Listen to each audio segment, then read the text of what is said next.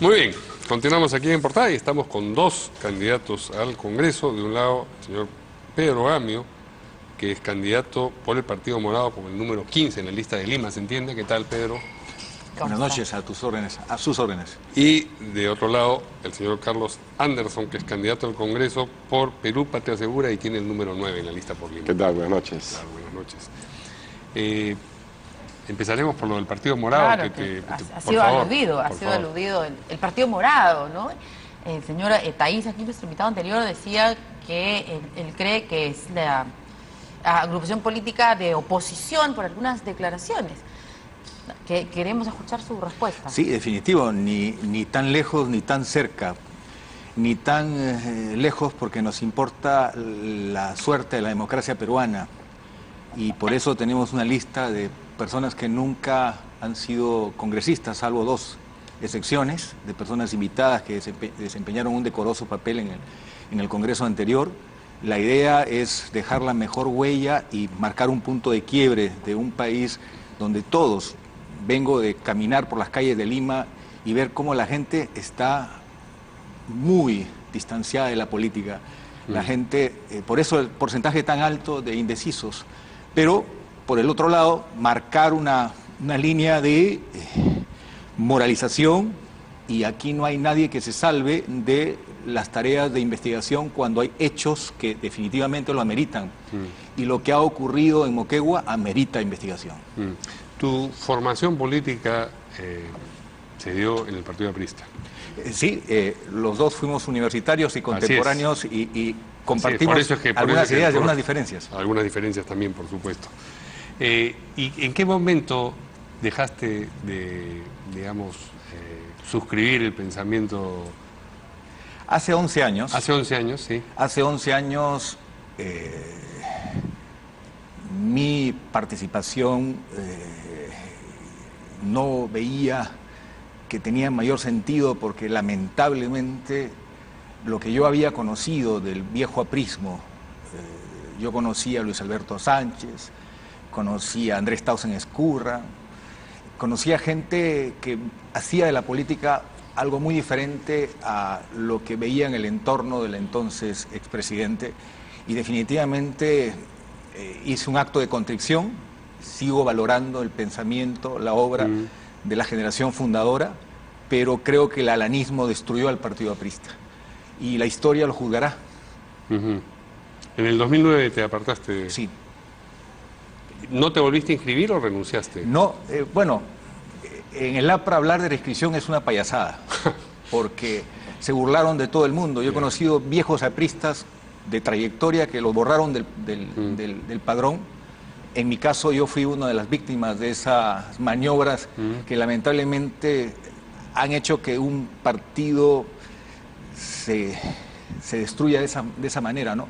Por eso es que pienso que hay que recuperar la docencia y la decencia en la política. Eh, Aya murió pobre, pero murió, murió rico en el corazón del pueblo, ¿no? Y creo que el Partido Morado es un partido joven, es un partido que recoge a personas con diversas experiencias, jóvenes de base 3, 4, 5, 6, porque hay gente mayor, pero con un espíritu de decir, no podemos dejar la política a los últimos de la clase y acabar con este sentimiento que tiene la gente de que seguimos siendo piratas de nuestro propio país. Mm. ¿Te has inscrito en el Partido Morado? Eh, sí, ya he tomado la decisión. En realidad yo he apoyado a Julio desde la campaña anterior, él me convocó. Por razones laborales estuve en una institución que prohibía, prohibía la, militancia política. Por eso eh, demoré mi compromiso, pero estoy ayudando y tengo una responsabilidad de plan de gobierno. Y la, de verdad, eh, es eh, una de las listas que, tiene la gente con mayor trayectoria personal y compromiso de vida, y eso es lo que yo exhorto a los ciudadanos a revisar. Creo que tenemos urgencia de un punto de quiebre en la política peruana. ¿Qué dice el señor Carlos Anderson? Su relación para empezar con eh, la agrupación Perú Patria Segura. Bueno, es una relación muy casual muy reciente. Yo, yo no soy un político profesional, no he confesado, mejor dicho, no he profesado ninguna ideología política, tengo, soy un profesional. Eh, pasado toda mi vida profesional, este, tanto en el sector, en el sector privado, tanto en el Perú como fuera. Eh, he sido periodista económico este, en Londres, eh, banquero de inversión, estoy de regreso al Perú desde el año 2009, pero intelectualmente regresé en realidad desde el, 2000, del año 2000, escribiendo una columna primera en el diario Correo, que se llamaba Desde Fuera y luego Tipos Inciertos, y desde 2004 hasta ahora, son 15 años, que tengo una columna quincenal en gestión, siempre como un observador no solo de la economía, sino también de la interrelación entre la economía y la política del país. Eh, he sido y soy un crítico justamente de la forma como la institucionalidad de los partidos políticos se ha ido autodestruyendo justamente por esos antivalores que han sido puestos de manifiesto tanto en el Congreso como en el accionar en general de, los, de los políticos.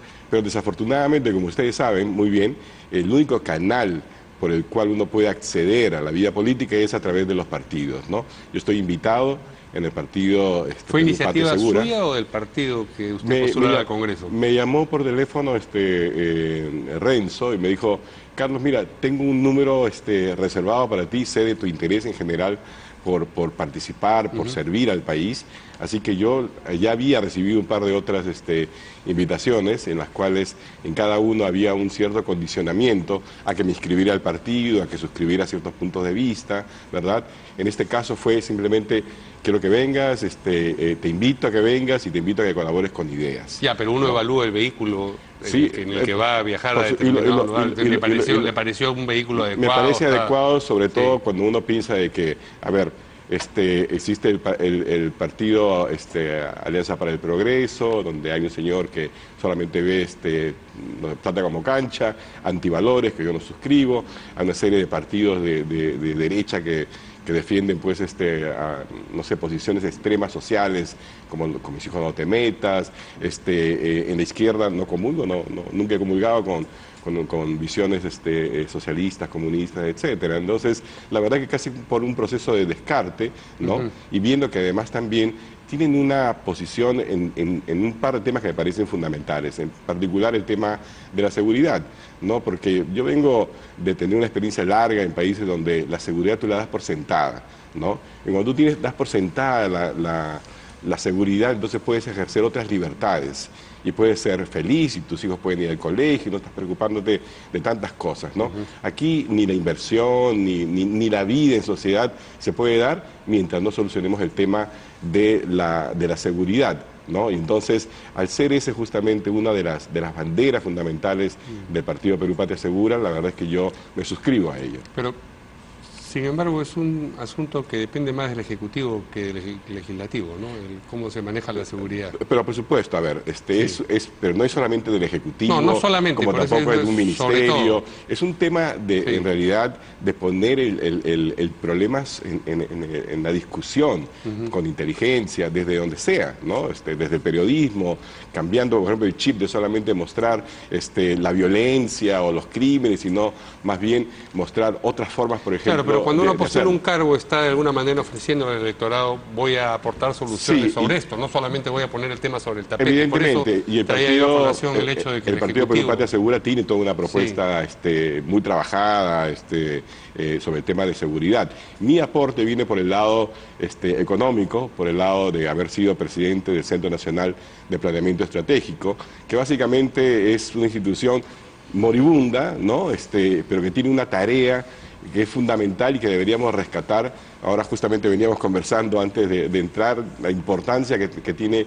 una institución como esta que mira futuro ¿no? y que requeriría tener un, papel más este, importante en un gabinete nacional, por ejemplo, con voz, aunque no tenga, aunque no tenga voto, para que las políticas públicas no sigan siendo solamente de naturaleza cortoplacista, sino que realmente ayuden a que el país entre al siglo XXI en materia económica, social, y organizacional. Ah. Eh, eh, hemos estado en, los últimos días hablando sobre Reflexión Democrática, esta ONG eh, que ayudaba de alguna manera a algunos candidatos al Congreso en diferentes momentos para supuestamente mejorar la calidad de los mm. congresistas. Y bueno, ha sido citado para poder declarar como testigo el señor mm, miembro del Tribunal Constitucional, el señor Sardón. Yo quería preguntarle sobre eso, eh, sobre el tema de los aportes de campaña, sobre qué piensan específicamente sobre este caso, porque justo habla sobre candidatos al, Congreso y los aportes de campaña, que además está eh, mucho, estamos hablando mucho de esos sobre todos los candidatos en su momento, ¿no? Uh Toyato Humala, Keiko Fujimori, Pedro Pablo Kuczynski, etcétera. La lucha contra la corrupción es la principal demanda ciudadana hoy. Un esfuerzo que puede haber tenido un método serio, un procedimiento eh, razonable, se ve totalmente dejado de lado cuando hemos visto millonarios eh, acuerdos eh, bajo la mesa. Entonces, en pocas palabras, este asunto de este mecanismo, incluso de personas que pueden haber colaborado aquí, que pero por el otro lado han colaborado en forma mucho más significativa en tratos que definitivamente son cuestionables, han hecho que ahora haya una indignación enorme en el ciudadano. Todo se compra, todo se vende. Entonces, creo yo que las investigaciones son necesarias, pero la ley ahora es muy clara, ya no se permite esta clase de, aportes corporativos. Ahora, el punto está en construir una nueva relación empresa, privada, Estado, academia, sociedad civil en el Perú eh, ya no podemos hacer CADES que sean solamente mirarnos al espejo. Tenemos que hacer CADES que impliquen convocar a la representación de la academia, a la representación de los trabajadores y, por lo menos con representantes acreditados, generar diálogo que haga que eh, eh, en nuestro país la agenda de gobernabilidad fluya. Yo no puedo aumentar el presupuesto de educación, de salud, el tema de energía, que está ahorita con problemas serios, sí hay una presión tributaria de 14 puntos, hay un problema de fondo, el país está mal gestionado y hay un sobrecosto llamado corrupción. Todo eso se puede resolver y poder llegar a una suerte de acuerdo de línea base. Y creo que a nadie se le puede eh, eh, eh, marcar como usted no, porque usted tiene un pensamiento de izquierda, usted tiene un pensamiento conservador todos tenemos que dar lo mejor de nosotros porque hemos vivido, acá eh, algunos somos generacionales, hemos vivido un país con 75 mil muertos, con hiperinflación, un país paria, con cólera, con todas las plagas de Egipto. Los jóvenes no son tan conscientes de ese pasado cercano. Creo yo que vale la pena el esfuerzo, que por eso estamos participando en este proceso es primera vez que yo soy candidato al Congreso de la República y definitivamente estoy viendo que las instituciones en el Perú hay que reconstruirlas. Señor Anderson, sobre sí, financiamiento. sí, por supuesto. Yo creo que el problema principal es justamente cómo financiamos las campañas, cómo financiamos a los partidos políticos. En otros países este, la respuesta es obvia, ¿no? Hay financiamiento público. Nosotros estamos, el Congreso es un, es un poder del Estado. ¿Se financia el Poder Ejecutivo, sí o no? Por supuesto que sí, con una partida. ¿Se financia el, poder este, legislativo? También. ¿El poder electoral? También. ¿Por qué no financiar entonces los partidos, a los partidos políticos? Evidentemente, de esta forma se va a poder, yo creo yo, este, limitar el mal uso del dinero privado, ya sea de manera delincuencial, no este, eh, como lo que hemos visto, porque eso es delincuencial, realmente hacer uso de tu poder para poder este, abusar, digamos, este, de la democracia, ¿verdad? Eh, y también ahí creo yo que es importante que ustedes, los periodistas del cuarto poder, empiecen a dar una mirada a los candidatos que tenemos hoy en día, porque hay mucho hijito de papá que tiene muchísima plata y muchísimos intereses, ¿no? Este, eh, y que están allí. Por ejemplo. Claro, Pepe Luna, hijo, ¿no? Este, eh, Amurús, hija, este, y sigamos buscando y van a encontrar más hijos de, ¿no? Este, que tienen, claro, todos los recursos para, incluso con los límites este, que tiene esta campaña, ¿no? Este, eh, ir y traer pues este eh, artistas y cosas por el estilo. Yo no me quejo, yo creo que esta debería ser una competencia de ideas, no necesariamente de proyectos de ley, porque también es un poco equivocado pensar que la ciudadanía va a estar simplemente, no sé, tiene un mecanismo para poder evaluar la prioridad, la inteligencia, la posibilidad de un determinado este, proyecto de ley. Creo que la ciudadanía está más bien en búsqueda de personas que efectivamente estén en capacidad de crear consensos, de negociar, de poder este, convencer y de poder pensar las mejores leyes este, eh, para el país y que tengan voluntad de, fiscalizar, pero no con, digamos, con violencia verbal, no con exageraciones, no con malos modales, sino sobre todo con amor al país y con decencia.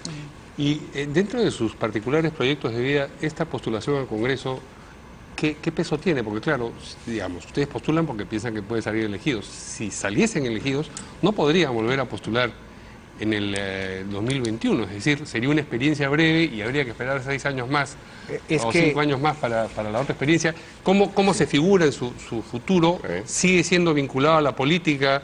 Mi, vocación de servicio no es de hoy. Yo coordino una red de energías renovables que fue mi trabajo una vez que dejé el ministerio hace 11 años.